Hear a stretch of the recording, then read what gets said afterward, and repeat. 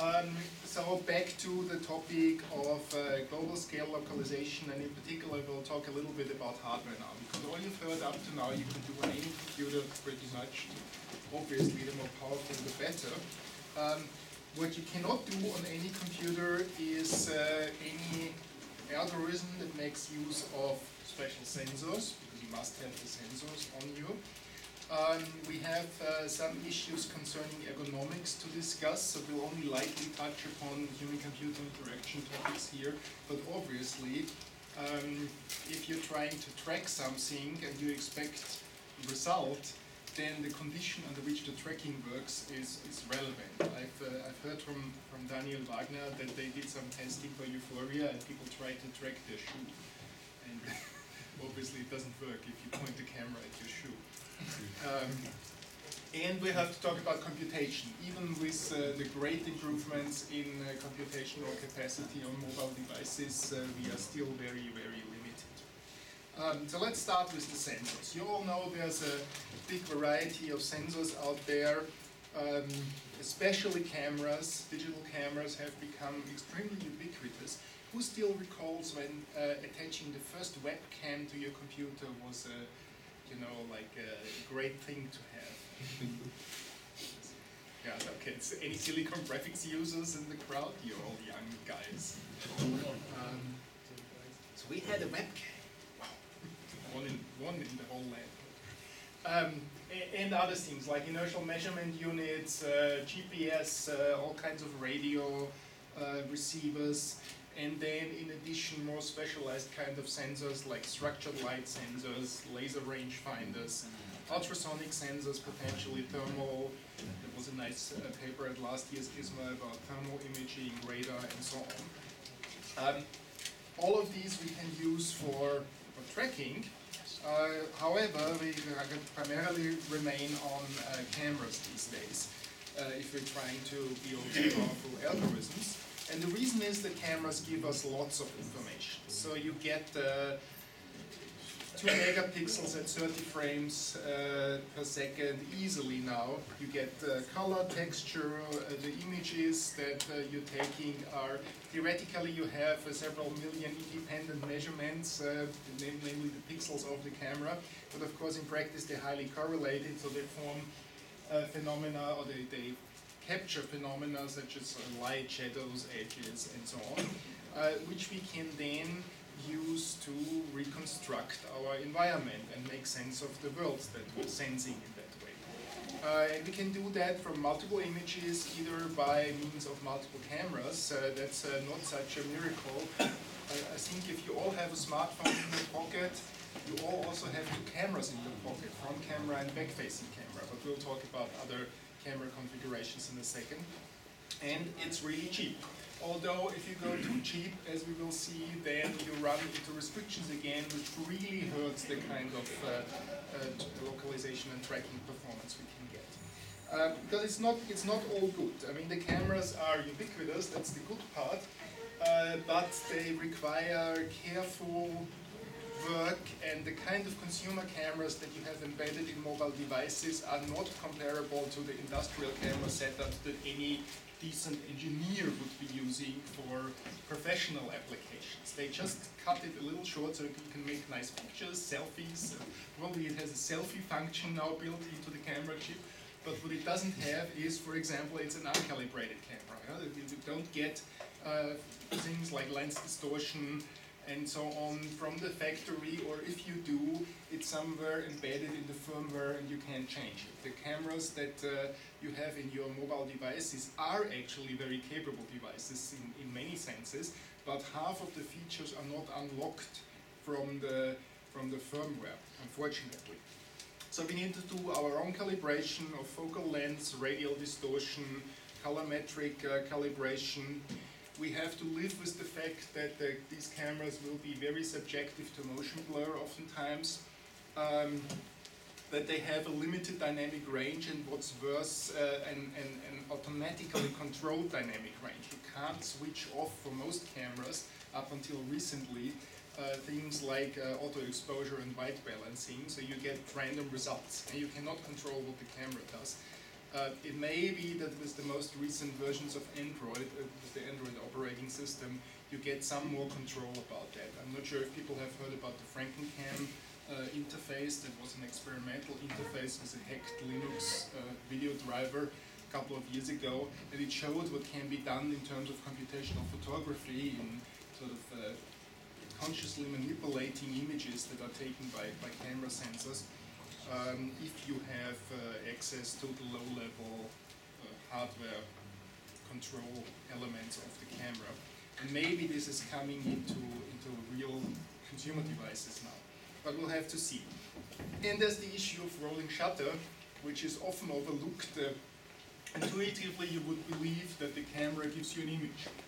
And obviously, that's two megapixels or whatever you have, um, taken at the same moment in time.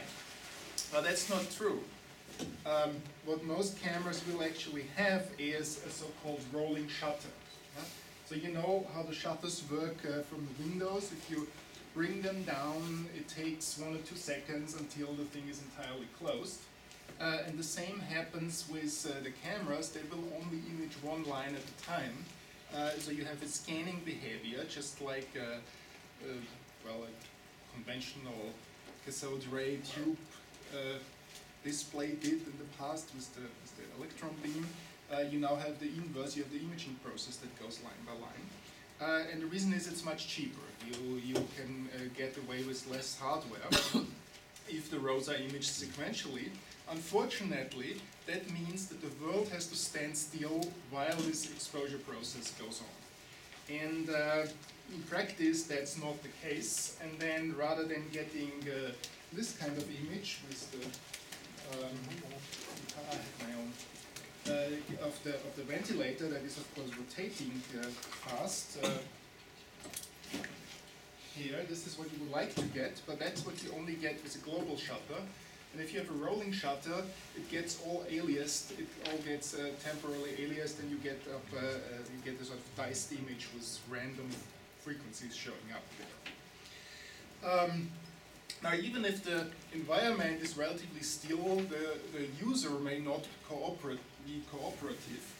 Uh, and you if you if you do any real world application, you have to think about the uh, dumbest possible user who's always doing everything wrong.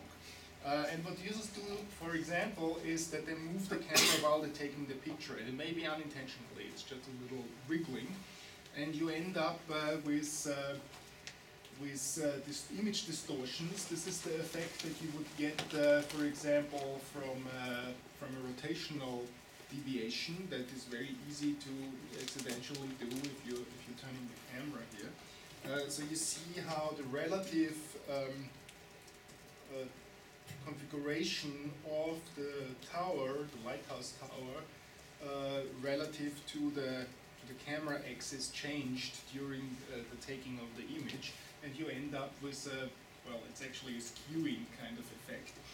Um, the part where there's only rotation is actually the, the nicer one, uh, where you can, if you have, for example, from a gyroscope some additional information, you could try to figure it out. If you have translation as well, then it becomes depth dependent. These are parallax effects, and then it gets even much worse. Huh? Um, so uh, this is difficult to compensate for, um, and uh, obviously there are um, global imaging sensors. It's only that for cost reasons they are not built into conventional phones because the, the cameras in the conventional phones are intended for taking nice snapshots and maybe doing a little videotaping of uh, people at the birthday party or something like that, and they are not engineered to be computer vision devices. And with a little extra um, effort, they could be turned into proper computer vision devices, but uh, right now, there's not a market for it. So you're all invited to create compelling augmented reality technology. So there's a good motivation for the vendors to put this into their into their systems. And you can buy really nice uh, uh, global shutter cameras with high frame rate uh, for a couple of dollars if you wanted to. Only they are not in your phone. Um, by the way, a high frame rate is also a really desirable uh, component even if you go to lower um, uh, resolution. CMOS chip technology would actually allow you to do that, but most cameras will not be built for anything more than, say, 30 hertz or so. If you can image shorter time distances, then obviously any form of incremental tracking that is tracking between frames becomes much easier because of the shorter baselines that you have. So that would be another change in hardware that if you talk to your favorite vendor, please require faster image update rates or programmable image update rates. Um, doesn't have to be just a single camera, that's again a, a, a matter of cost. Building a single camera into a device is uh, some cost element. If there's a, a, business case like selfies, we also build a second, namely the front-facing camera into the device.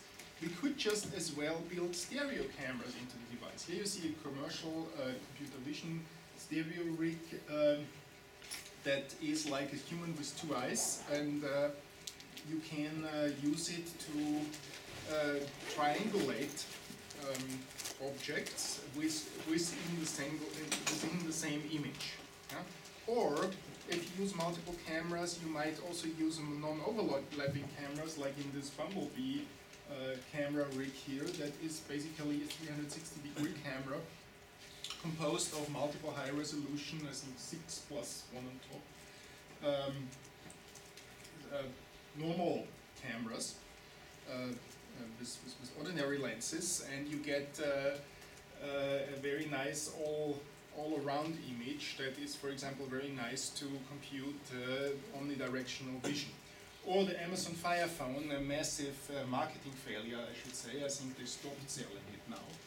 We're lucky to have one device, but it has very interesting. Uh, um, I should stay close to the microphone. Sorry about that um, which has a very interesting feature, namely it not, not, not only has uh, one normal camera here, but it also has four cameras at every corner and they're used for uh, head tracking relative to the device. So you get a kind of auto-stereoscopic effect uh, just from the fact that the system knows uh, where from, from where you're looking. And they, they thought it would be good for marketing and people would be buying all kinds of goods on Amazon if they can only see them in 3D apparently that didn't work out, but uh, it's a phone with five cameras and it was not massively more expensive than, than any other device. Um, for all of these options you have, obviously if you go for multiple cameras, the uh, technology to drive it becomes uh, slightly more involved. You need uh, synchronization. Uh, you need to trigger the camera simultaneously. If you cannot do that, the advantage of having a stereoscopic camera over uh, a single camera that uh, computes images at, successive moments in time is much uh, less uh, a big win. Um, if you are processing multiple data sets from multiple cameras, not only do you need to have them in synchronization, but you also need the computational power to, to do something with all that data. Um, and uh, obviously, you want to uh, choose how everything is arranged, what the lenses are. So if you add, uh, if you keep adding requirements, then maybe you're moving away from the kind of mobile device, even though the, the Amazon Fire Phone is an, is an instance that shows that a nicely engineered multi-camera solution can be cheap. Uh, but most of the time you won't get it. Uh, then there's also the issue of the baseline. This is a little bit uh, uh, a look into the ergonomics problem if you have multiple cameras on a device, the question is where can you put them on the device so you get a reasonable result. If you want to have triangulation, in particular if we're talking outdoors, Clemens already told you that you might have to walk a baseline of several meters uh, to get triangulation of a point that is, let's say, 20, 30 meters away. Yeah? So if you're in a wide open space. Now, I cannot imagine holding a mobile device with a baseline of several meters. uh, and with a narrow baseline, uh, you might get uh, high accuracy, but the triangulation is not uh, perfectly supported. And, uh, and so the problem is a little bit how much of a baseline can you have on a mobile device with this form factor, even if you hold it uh, the old smartphone uh, in, in landscape mode, you'll get maybe 10 centimeters or so. Which is okay. I mean, that's the interocular distance, roughly speaking, that you have. Uh, the eyes are about six, seven centimeters apart. Uh, that's, that's what you could also get on the phone. Um, so by analogy to, to our human uh, biology, it should work, but not for uh, certain, you know, for certain computer vision tasks. Um, a person would also not be able to accurately estimate the distance of a single point that is 20 meters away. Um, so the phone can't do it as well. Um, and uh, that, that may be one of the reasons why stereo cameras on mobile devices have not caught on so much. Huh?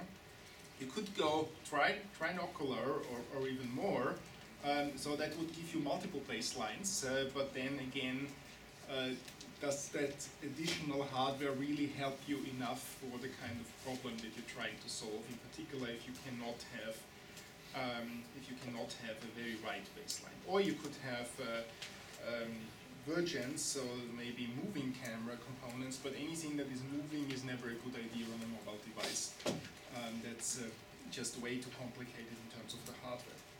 So alternatively, we could look into depth sensors.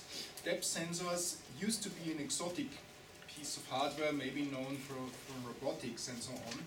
Um, but uh, just by the price tag, it was not really something that everybody considered for their work. With the introduction of the Microsoft uh, Kinect and its siblings, uh, depth sensors have become very popular, but they primarily work indoors. There's uh, um, either uh, structured light or uh, time flight sensing, but they all use some form of active illumination, so usually it's an infrared laser source um, and you can build that in a very small uh, form factor. There's, for example, the Intel RealSense, which is now available in, in some notebooks, uh, or the Google Project Tango, which you can't really buy unless you're in a special developer program, but it's kind of a forerunner. It may be, I hope it may be kind of a forerunner of what future devices will bring. So basically, it's like a little Kinect built into your into your phone or your tablet. Um, but with the structured light uh, capability, the problem that you have is that uh, it will only work if you can achieve a proper contrast uh, of the reflections. So that means it is primarily designed to work indoors where you have uh, relatively low levels of ambient illumination, in particular in the infrared uh, spectrum. Uh, and it's designed to work over short distances. As soon as you go outdoors, you will face larger distances and you will face uh, um, much uh, detrimental influence from the sunlight, which contains significant amounts of infrared uh, radiation, and therefore um, these sensors only work outdoors if you're trying very, very hard and you're waiting for a cloudy day or something like that.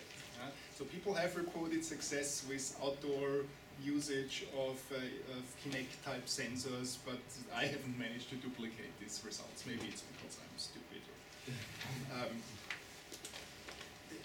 maybe, maybe in the future there might be some modifications, but that is beyond my knowledge what, what they have in store. I think it's very, um, it seems very difficult to build something that is energy efficient and could still work outdoors. Um, just to give you a little upshot here, uh, this is a paper that was uh, published by, by Clemens and Jonathan Ventura this year on multi-camera motion estimation. If you have multiple cameras, you might actually fuse all the information directly into pose estimation without ever converting that into some explicit uh, uh stereo triangulation framework first. So there are now nice, nice mathematical models that could basically make use of any kind of of sensor, and I've already suggested we might try to do something like just the front and back facing camera simultaneously, seeing things, and you, you know, the, the front facing camera sees a few features, the back facing camera sees a few features, and you might fuse that into common pose estimation of the rigid device that has these cameras.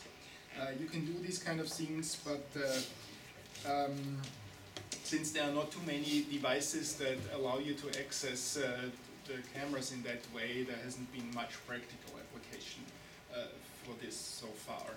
And you can of course ask yourself again the ergonomics if the front-facing camera is mostly facing you, if you have a handheld device, you are not part of the rigid tracking model of the environment, of course. Um, so that doesn't make sense. Maybe that's the reason why this hasn't been further investigated. Um, okay, uh, the next uh, sensor type is the global positioning system. Uh, if you talk to, maybe that has happened to you too, if you talk to people who have zero knowledge of augmented reality, they always tell you like, oh, but why are you dealing with this uh, optical tracking? Does the GPS, that it's already great. I have it on my phone, Google Maps, it always tells me where to go. Huh? I think Clemens pointed out uh, very clearly already that the level of uh, registration accuracy you can expect from GPS alone is not going to work, although most people do not differentiate between the various flavors of, of, of GPS technology. They, they, all work with the satellites in orbit, we know that, and it's a time of flight principle over long distances. The question is, how many satellites can you see? Can you see only the American satellites or also the, the, the Russian ones? Uh, future maybe the, the Galileo, the European ones. Uh, and how accurate is your signal reception? Probably you don't want this on your mobile phone. uh, that's a, that's a, a, picture of a base station that is used for the differential GPS. These are stationary, high-quality GPS receivers that compare the signal that they get with the known, you know, pre pre validated position where they are physically attached. It's a concrete socket, as you can see. Uh, and, uh, and they uh, figure out how much the atmospheric distortions in the area are uh, producing a wrong reading on the GPS signal. And then this is broadcast. It used to be broadcast uh, via special radio networks, but now it's just standard internet, where you can receive what the deviation in your area is, and by interpolating among multiple such, multiple such, such base stations, you can get uh, a correction signal for your lower quality GPS receiver that lets you uh, determine position up to approximately 10 centimeter, or a couple of tens of centimeters accuracy. Much better than the tens of meters that the GPS will typically be off, but uh, it is not uh, helping you in all cases. You need enough basic uh, signal from the satellites, enough uh, uh good uh, signals in order to get the proper initialization for the entire scene. The, the, differential correction doesn't help you if you already have a bad reading to begin with, um, because it will only reduce the, the residual error. Um, can work in real time now, um, but if you are in a situation like this, the typical urban canyon with high-rise buildings, uh, where most of the sky is occupied, uh, then you will not get a very nice GPS result. Um, in addition to having a long startup time where the whole thing is, is initializing. Um, and of course, uh, mobile GPS devices don't have uh, differential GPS capability yet. That may have to do with the fact that they're not accurate enough to begin with, uh, or maybe it's just a cost factor because for most of the applications like car driving, uh, the higher GPS accuracy is not really necessary. Huh? Anyway, um, there's potential there to improve the accuracy. Uh, right now, very accurate GPS is still very expensive, and the remaining problem, just like with the baseline of stereo cameras, is that you would need a larger antenna um, with a diameter of at least 10 centimeters or so to get the proper signal. So maybe some electrical engineers will figure out really nice antenna for the differential GPS. I'm not sure what's in store there. But right now, uh, the idea, of course, is that the GPS gives us a very robust prior for, for some pose estimation. Um, yeah. Uh, then there's other radio sources. You know, GPS is basically a radio technology. Now, if we if we do not care about the wavelengths of the electromagnetic spectrum, then a radio and GPS and uh, camera are all working with electromagnetic radiation. But of course, in practice, it's very different. Uh, this radio is meant to work over shorter distances and is parasitic or, or, exploiting the already existing infrastructure in the environment. So in particular, Wi-Fi hotspots but there's also smaller things now that are intended for this kind of Internet of Things movement, where you have very little Bluetooth beacons that you spread in the environment. Um, and uh, from that you can receive the radio signals and try to make uh, some position estimate. Of course, primarily the idea would be to work with triangulation, so you get uh, three distances to three sources at known positions, and you triangulate from that. Um, that is a very nice idea, but doesn't work very nice. yeah? Um, because the, uh, the electromagnetic waves are deflected off walls and various uh, um, obstacles. They take multipath to the receiver, so it's the same problem as with the uh, GPS signal that you get all kinds of confounding uh, receptions, and uh, therefore the results you get are very mixed in practice. And doesn't work half of the time or doesn't work robustly half of the time, then probably you don't want to use that.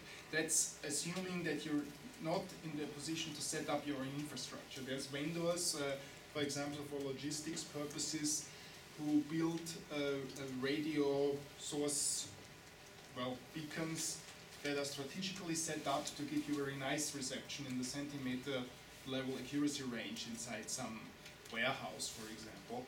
Uh, but that's what not what we're talking about here. We're talking about here uh, using the Wi-Fi that has been cartographed by crowdsourcing efforts. So if you have, I think uh, at least Apple has it now that uh, you can enhance the GPS, well the position service that Apple and maybe other vendors build into their mobile devices is GPS plus additional uh, readings from from uh, existing Wi-Fi infrastructure uh, and, and also cell tower infrastructure from the from the G3 networks um, to get uh, to get a proper improved location estimation. But you are, um, of course, you you're not in control over how good the results are going to be. If somebody decides to switch off their access point or change the SSID or something like that, then uh, this particular source of information vanishes, vanishes so it's not a reliable source of information. Um, and uh, you can go to Bluetooth, uh, but then again, if Bluetooth is mostly on mobile, I mean, it would have to be dedicated uh, stationary Bluetooth infrastructure. Bluetooth is mostly because you can build a tiny beacon with a small battery that uh, emits a signal for a year or so until the battery has to be replaced. Uh, other than that, if you have Bluetooth in mobile devices, it doesn't help you much in the triangulation. Um, and uh, you could go to software-defined radio that is uh, um, go to basically new kinds of protocols, but uh, that again would require control over the infrastructure as well. Um, what is that? So, so maybe uh, radio sources I don't see as a very important component, at least may, maybe for location-based services, but uh, but not for augmented reality. However, um, in contrast, inertial measurement units are already an essential component of most uh, augmented reality systems, of, of most mobile augmented reality uh, solutions. Uh, and with IMU, I mean any combination of uh, linear accelerometers, uh, gyroscopes that measure angular velocity, and magnetometers that basically measure the magnetic field. So you could say it's a compass, although it's a three degree of freedom compass in practice. And they're mostly built into very small units that you now have in your phones with a reasonable decency. Um, unfortunately, there's noise in the readings, there's the need for integration uh, that induces uh, significant magnetic errors, so you will always have to live with some amount of drifting behavior of, uh, of inertial sensors. Um, and uh, you have the gravity, which means you can measure the gravity. That's a nice aspect that you can measure the gravity out of the accelerometers, but it also means that the, the gravity affects your readings and you're not precisely estimating the gravity aspect of the acceleration, the rest of the acceleration will not be uh, not be so so great. In, in zero gravity accelerometers would probably work great, but uh, unfortunately we don't have that luxury. Um, you also have some latency in the readings, and uh, uh, taken all together, uh, really mastering the use of an IMU is not so easy. huh? You can go download the Android SDK, use the IMU interface and get some information out of that, but that is going to be the poor information that Clemens uh, showed you. Uh, and if you try to do better, you need to be much, much smarter about it. One thing would be, for example, be that you combine the IMU and the camera. Uh, so for example, if the camera is moving fast, then you have blur and uh, you have the problem of uh, a rapid change of field of view, which makes all these tracking algorithms very hard. Uh, however, the gyroscope could step in and uh, compensate for that, but only if you've done uh, the job of calibrating everything to metric units and uh, among the components of the system very, very carefully. Um, in addition, there's no guarantee if you buy a consumer package that all the hardware that you need is actually there. Uh, most camera chips uh, have a shutter pin that allows them to be triggered externally, so it could be perfectly synchronized with the with an IMU or any other kind of sensor, but unless you pick your own components and assemble them yourself, this will probably not be wired and it will simply not do the thing that you want it to do and you have no control over it in a, in a commercial device. Um, if you can manage do visual inertial fusion, I believe it's great. Uh, there's Harald in the audience who will confirm what I'm saying. Uh, it, this is not a new thing. Uh, there's uh, people who've worked in robotics on visual inertial fusion for, for a long time. Um, uh, the idea is normally that you have the sensors and then you have some control uh, which goes into like an extended Kalman filter or particle filter or some uh, advanced filter to give you the state estimate, which is the pose. Now, if we do that with this visual inertial sensor with a visual inertial sensor for augmented reality, we only have a motion model at our disposal. Uh, at our disposal. That's not really a control term. This is only an assumption of uh, how the motion is probably working.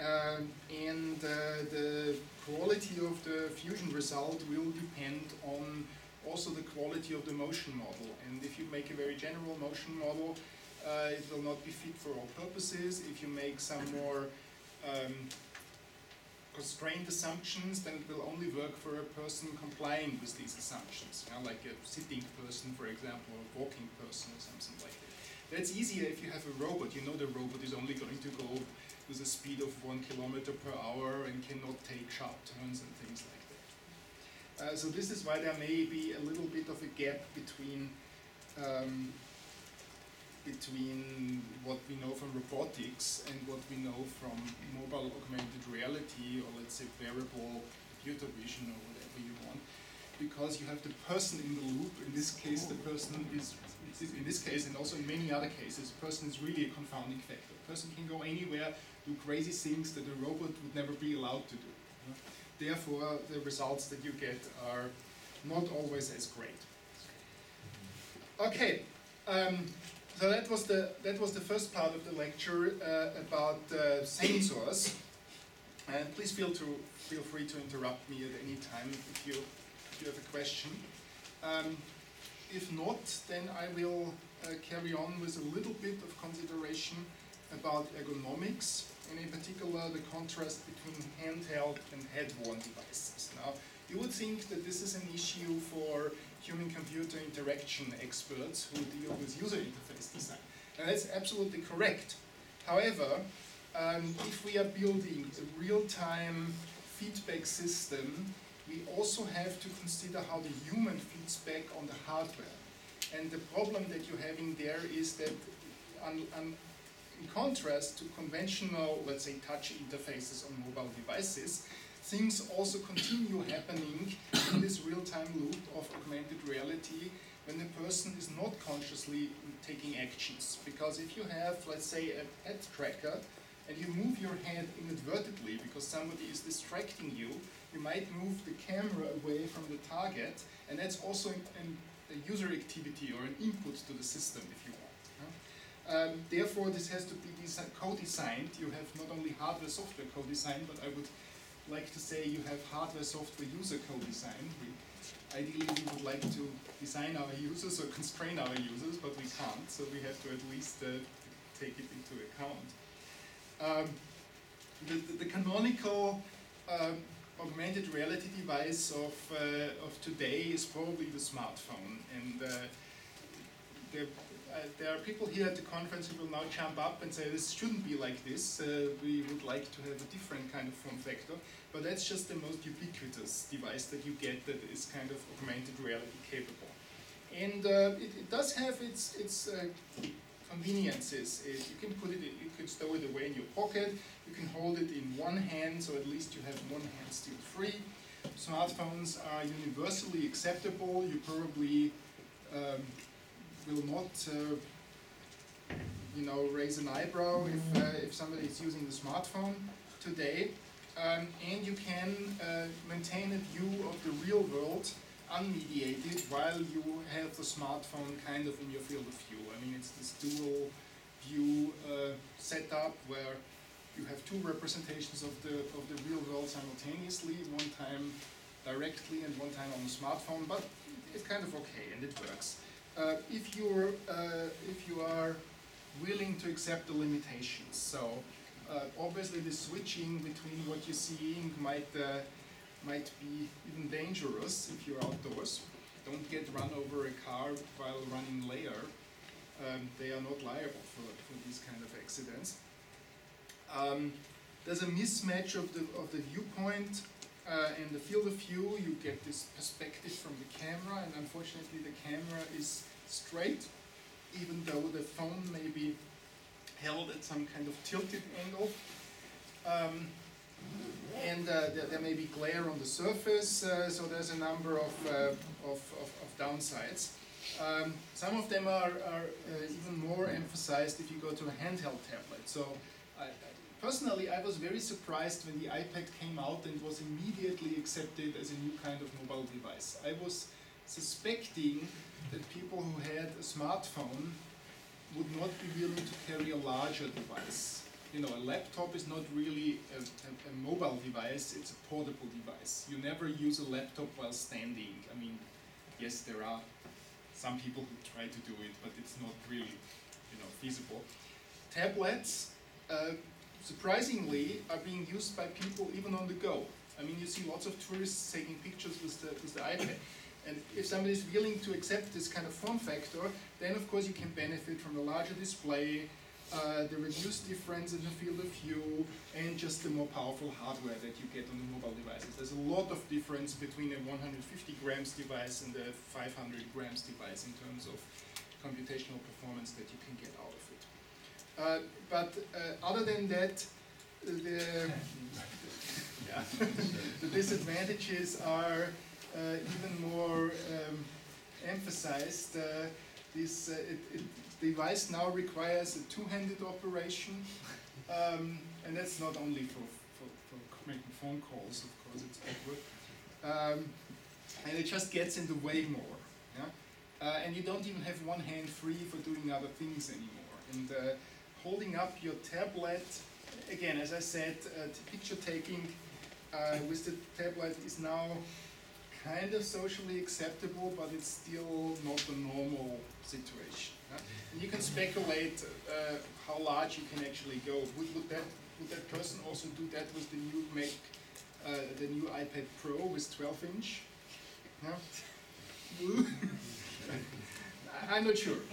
Um, I'll leave it open for your consideration. Uh, in any case, these are devices that are not intended to be to run continuously. You have to hold them in your hand. The fatigue alone will keep you from continuously using them for hours, uh, even if we had no technical issues like battery life. Uh, and there's the advocates of, uh, of head-worn displays. Uh, so the, you know, the, the, the canonical term is uh, head-mounted displays, but we have all heard this, uh, this statement that these should be lightweight devices that are wearables or they're head worn. Um, and there's, uh, there have been two very prominent uh, attempts in the past couple of years. On the right hand side, you know, the Google Glass.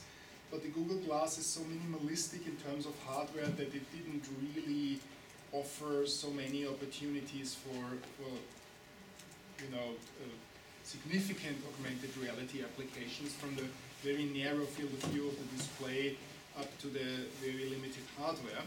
Um, Microsoft is now has now announced the the uh, HoloLens but of course we have all not been able to buy a HoloLens yet, uh, so it's very difficult to say how that will work out in practice. And I'm, um, I mean, there are some, some, people in the room who can tell us when we will finally be able to buy it, uh, if they were allowed to do so, um, but they're not.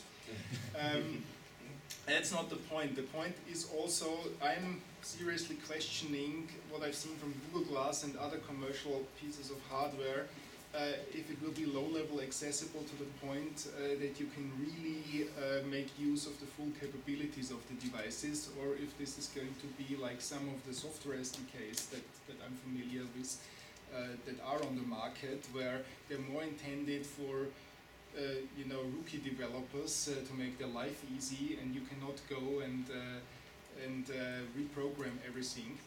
Um, and uh, apart from that, even though this is now hands-free, uh, if you look at the HoloLens, its, uh, its size and design today, I'm skeptical that uh, it would really be a fashion item that everybody, it's like a must-have. It's not like the Apple Watch, which is also ugly in my opinion, but uh, is, uh, is a more, more trendy in, in, in that way maybe. Huh?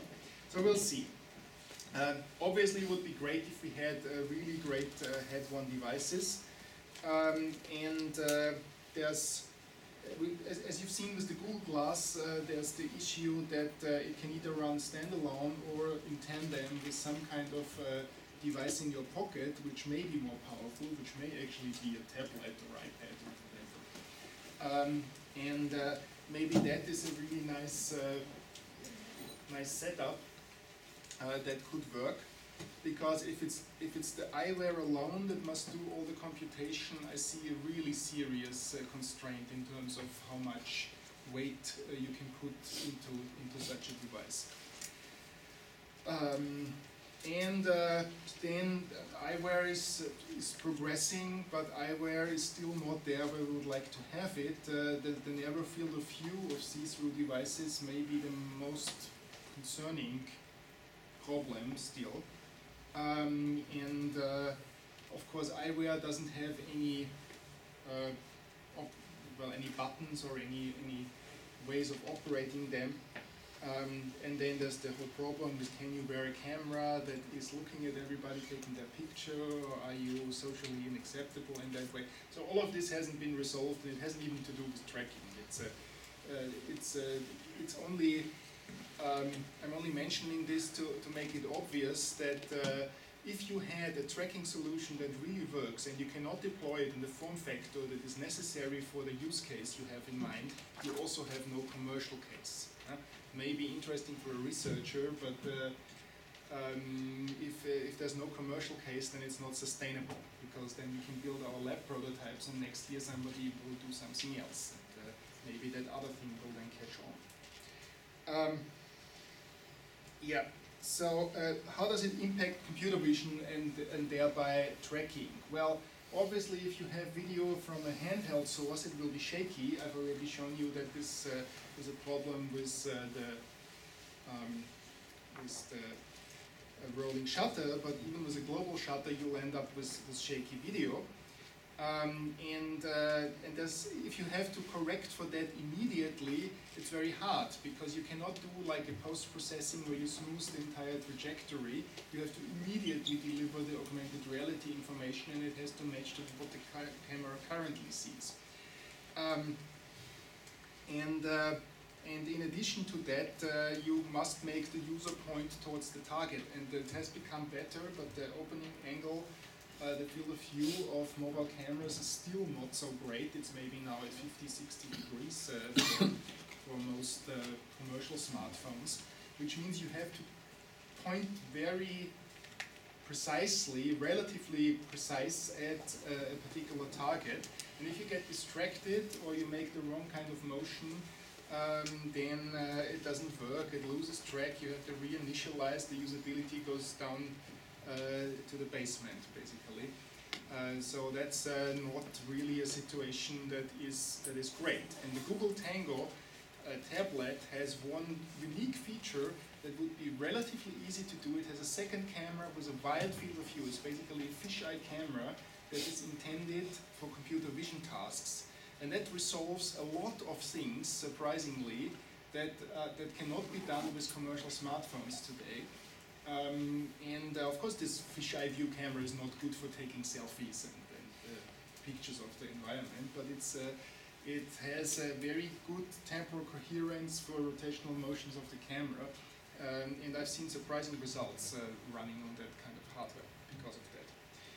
Um, if you if you have the camera on the head, it may be less of a shaking problem, but now it's it's basically and you finally have something that can be always on. Huh?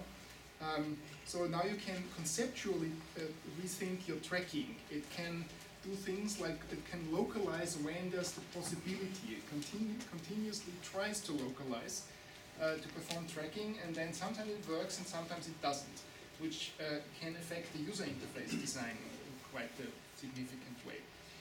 Um, and uh, um, the, the, issue still remains that now you have to point your head where the action is, which may work nicer than with your hand in terms of the effort that the person has to put into it, but uh, it's still um, can still not work if the field, if the line of sight of the of the camera is somehow different from where you pay your attention to.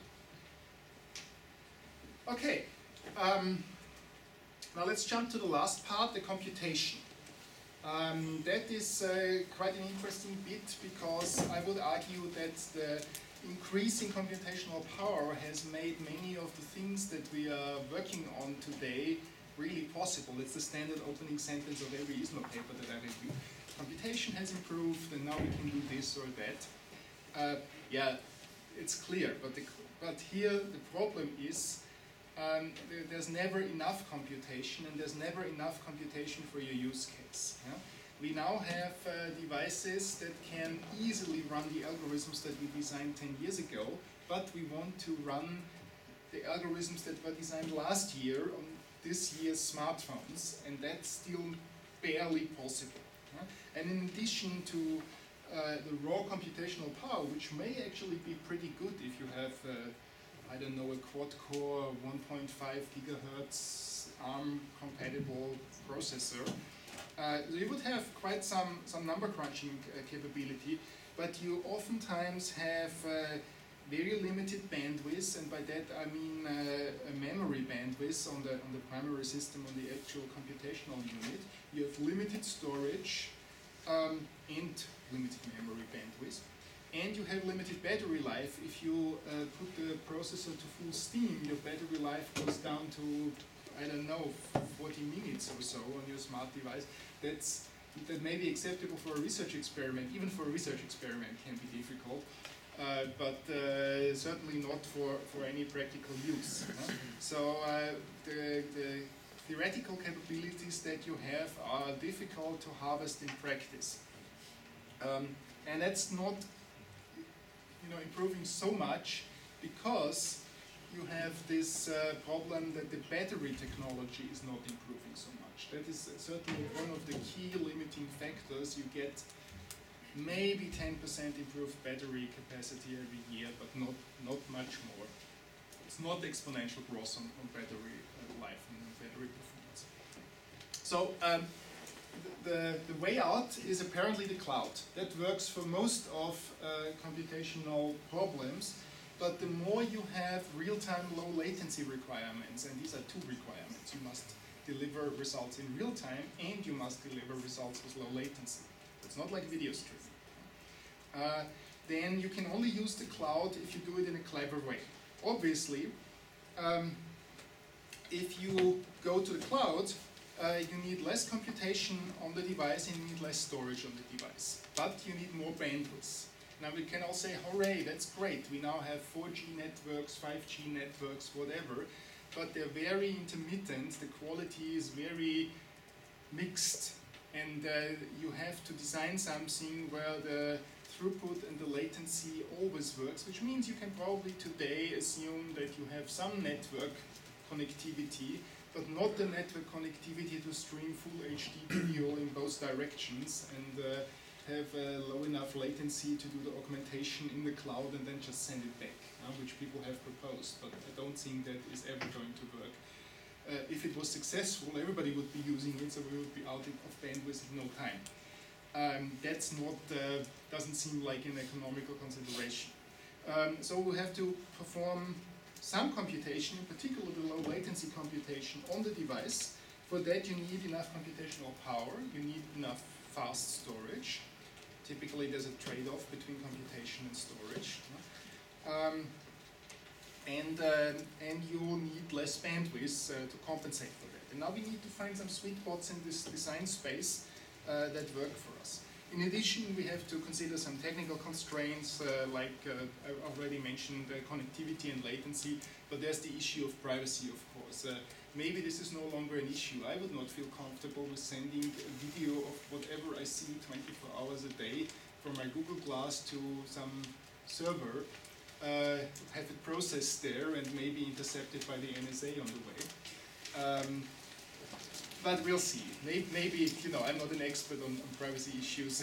I will just skip over that. Um, there's also opportunities for uh, doing more computation on the device that uh, have probably not been fully leveraged yet because it's kind of hard to do it. Uh, one is, of course, using FPGAs uh, or some sort of dedicated hardware. There's certainly opportunities for computing image processing tasks on dedicated hardware. Um, it's very interesting that the, the system on chips that are in the mobile devices do have uh, no, either on chip or as part of this chip family. I'm not, not, not really, I, I, don't really know all the details, but there are the image processors that do the camera image processing. Uh, so if you get some let's say, contrast enhancing uh, setting on your camera phone, there's some image processing hardware that does it for you that is not accessible to the programmer normally, which is, a, which is really a shame, I believe. Uh, I was told by my friends at Qualcomm that uh, uh OEMs do get to program the image processing chip, but researchers don't, so please go change. Um, the other thing are GPUs. Now, I've been fond of GPU programming for forever, basically. Um, and uh, I'm not talking about shader programming where you do nifty graphics. I'm talking about turning the GPU into a general purpose number crunching uh, facility for faster algorithms. Um, and that is theoretically possible today, but in practice, unfortunately, not really. Except if you go to the uh, NVIDIA Tegra chip family, where you can actually run CUDA code directly on the mobile GPUs now but these devices are not really widespread, apparently not so successful, and the battery goes on fire, uh, at least for the Shield series. I'm not sure if anybody has heard that they had uh, some technical problems. Uh, um, so uh, you know, I think I think uh, having uh, a kind of system, it, it, it, has shared memory anyhow. You have a single memory bank, and then the GPU and the CPU and they're all fed into the same memory bank. If that could be done with low latency, high throughput, and you could run parts of your algorithms in some form of compute language on the on the GPU, uh, that would probably be relatively well. I mean, there's reasons why people do it on the desktop, right? because you have uh, at the same time powerful and versatile.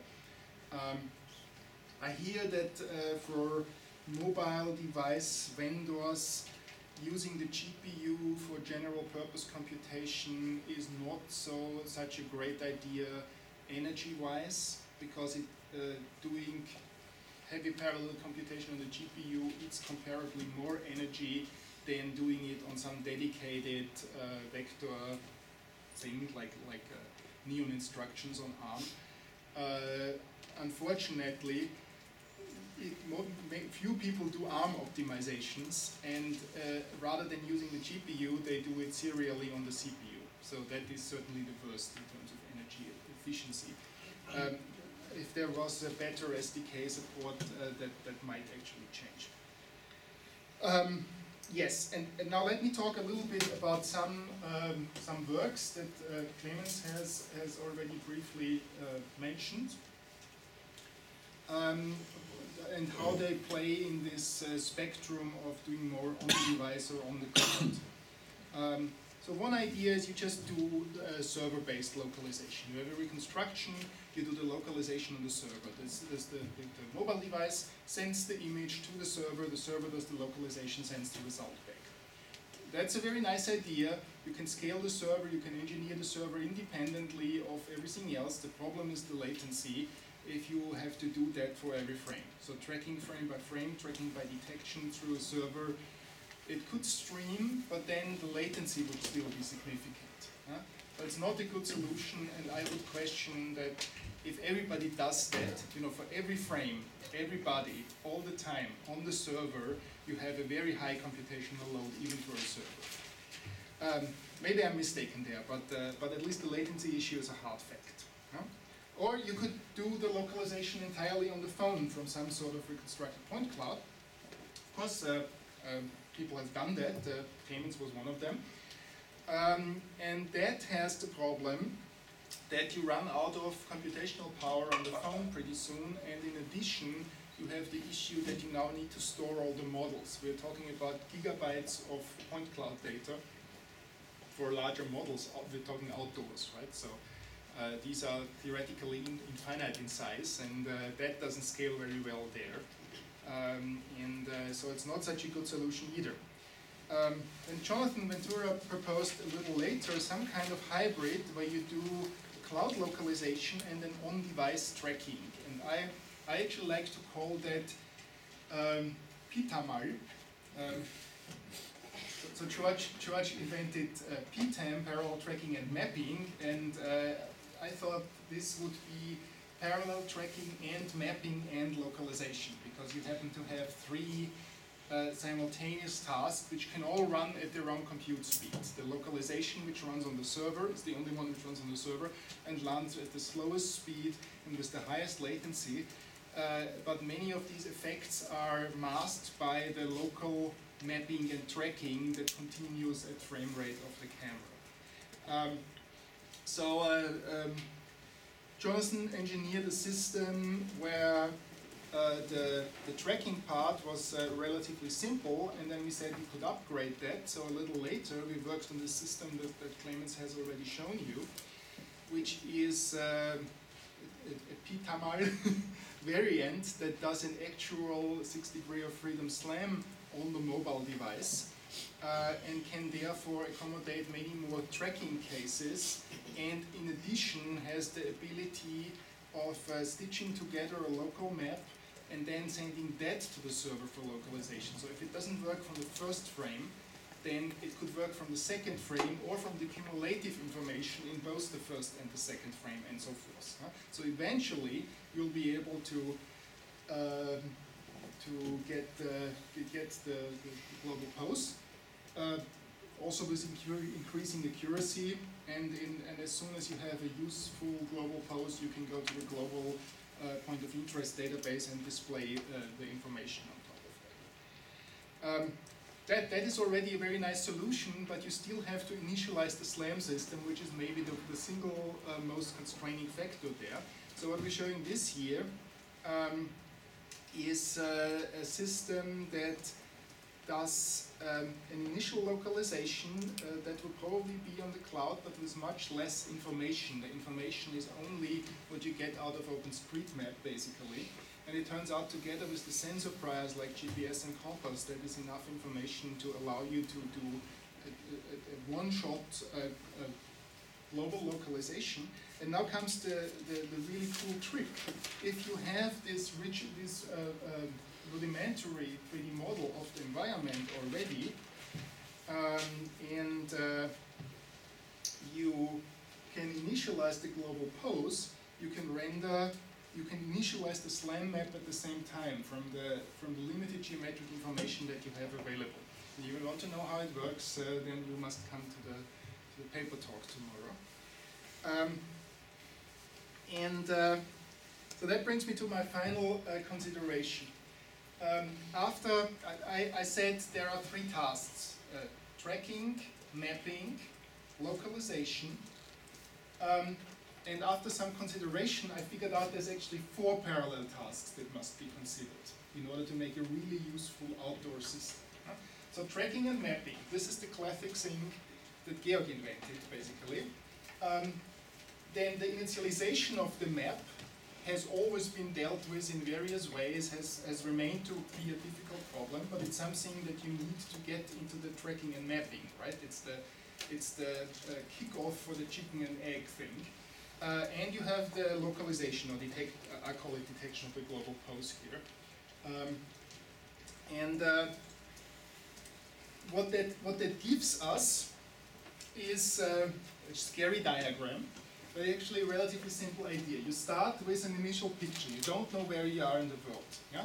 You would like to find the global pose for this picture and you would like to find, to continue getting the global pose for every subsequent picture. So we want to go from uninitialized first keyframe to a global tracking state. Yeah?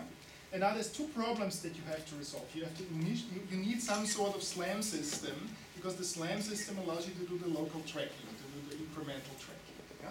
So we want to go down here, and we also want to go to the right where we know the global pose. Yeah?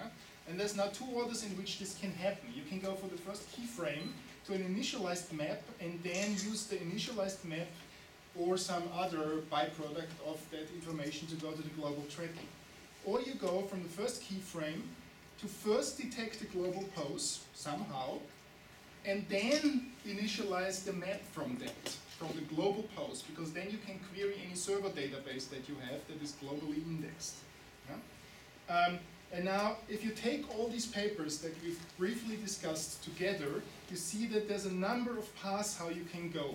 And maybe the most, uh, the most notable ones here that I would want to mention is um, either you go in this way here, where you do first uh, some map initialization, and then uh, from the partially initialized SLAM map, you go to the global tracking. So you query the, the, the global point cloud server with the partial SLAM map. And the other thing is this thing that we have been working on recently, where you first go to detect from the first frame the facade immediately, and you use that to initialize the model. Um, so uh, you actually have the global pose before you have the SLAM map initialized. Yeah? And uh, there could even be loops here. If you don't succeed, you, you, can run all these possibilities simultaneously. It would just be a very complex software system, but uh, it, it, one that makes sense because you don't know what the user is going to do and where the user is going to be.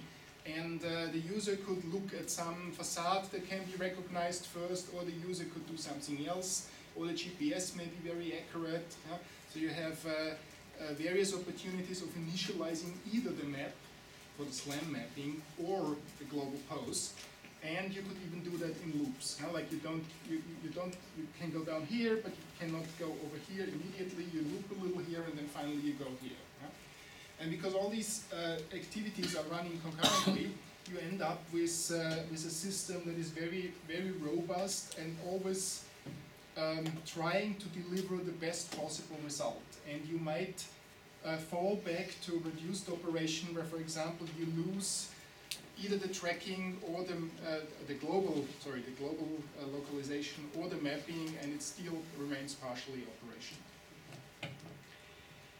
Okay.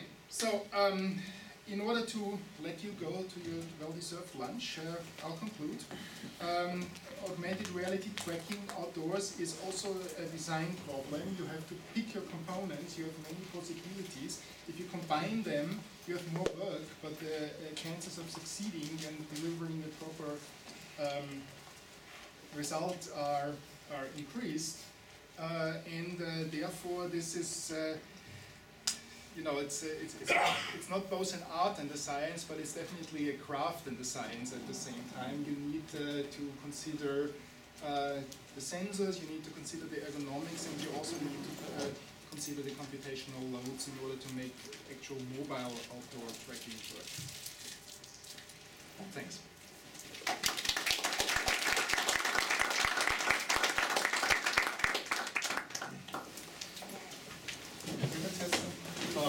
so I have just five slides to conclude the, the tutorial. It will not take long, I promise. Um,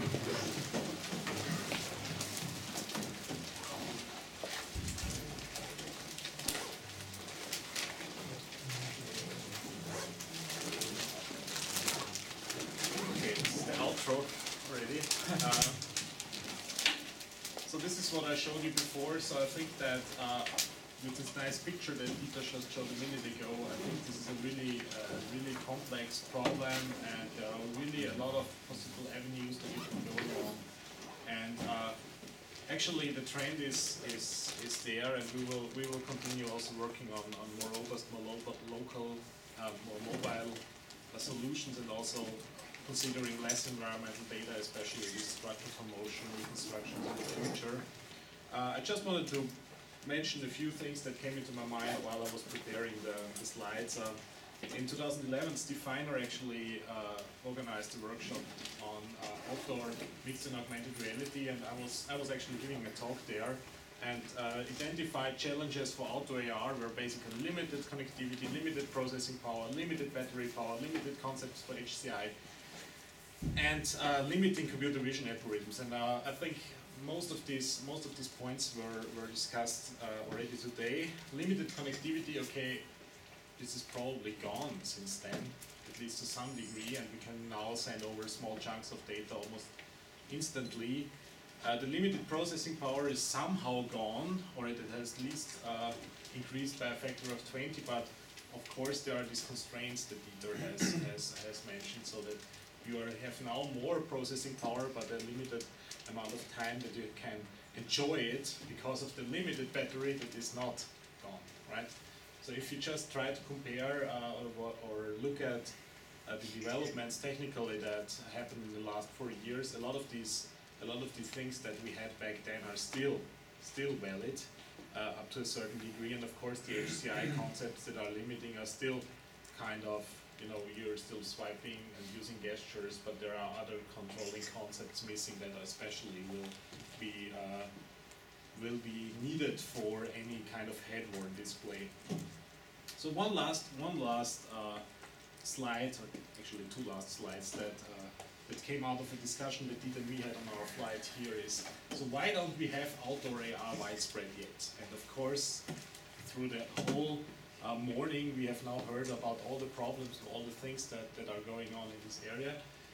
And of course, we need to have a solution for many different problems at the same time. So that's why that's one of the major reasons.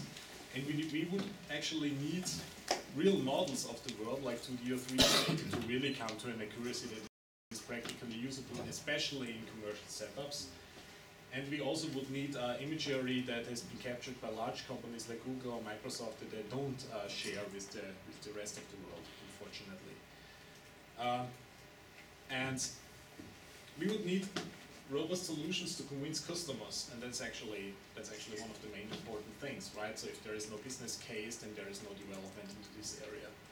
And uh, we don't have actually a robust solution to convince customers, and we don't have uh, we don't have them at least for a wide range of scenarios. We saw that AR can be very successfully applied if we just stick with local markers and some SDK like Vuforia and Metaio. But if we want to go outside uh, in, the, in, in outdoor environments, this will probably not work. And and that was actually that is just bringing up this point again that we that I just mentioned in the second part that we don't have the AR content. So even if we had the localization, we don't have the content to show, right? And I'm not talking about just knowing that there is this or that restaurant, because this is probably a GPS coordinate that is stored somewhere. I would really need AR content, a concrete outline of where actually the door of this restaurant is and where the floors, where, how many floors this restaurant have and where actually the tables are located. We don't have this AR content yet. So actually, even if we had a solution, we don't have the AR content and or at least we cannot create it at a scale that is really reasonable. And so in this AR localization continuum, there are many open, many open questions still, but we're, uh, I think we are all on a good way to really make good progress in this respect. And I think there are a lot of, uh, lot of interesting challenges for future PhD topics, course, and for future research. And that I, that's actually really the last slide. So thanks for listening to this tutorial. Uh, you might come back to us, of course, anytime uh, through email or just talk to us uh, during this ISMAR conference. Uh, we will be here all week. Um, I will, I will uh, put up the video on some share that I have to decide where I will put it, and I will also make available all the all the videos and all the, the talks, basically the presentations. I just have to warn you, I didn't ask everybody for his copyright statement. Uh, so uh, just be careful if you want to further share, share this information with somebody else. Thank you.